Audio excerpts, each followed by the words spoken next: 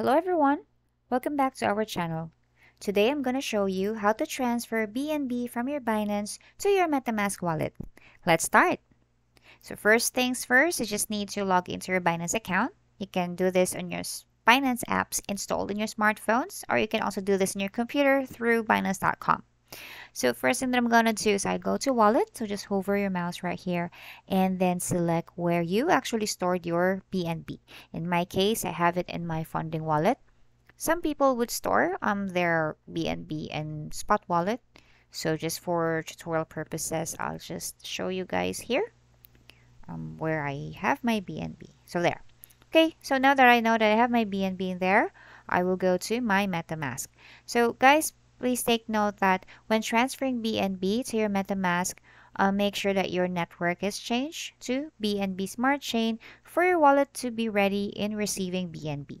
So now that I changed the network, I need to go to my BNB right here. And what I will do is actually get BNB wallet address because you're going to be needing this when you're going to go back to your Binance to transfer the BNB. So you either scan the QR code or just click on this one to copy that and then let's go back to your our Binance account. So for those people who are still new in cryptocurrency, we do have other tutorials, so please free to check our other videos or subscribe to our channel to check on that.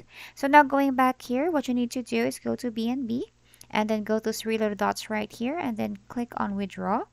So now it's defaulted to BNB. Just paste the wallet right here. And then it's defaulted also to BSC network. So say for example, I would want to transfer maximum of my BNB. I can also do that. So now it's lit up. Um, you just need to click on this one. Then there would be like few pop-ups after clicking this just for additional security to make sure that your transfer is secured. Once that's done, when you go back to this wallet, you could actually see that your BNB would already be posted. And that's how easy it is to transfer this BNB. So I hope you learned something today. Please leave a like. Thank you for watching. Goodbye.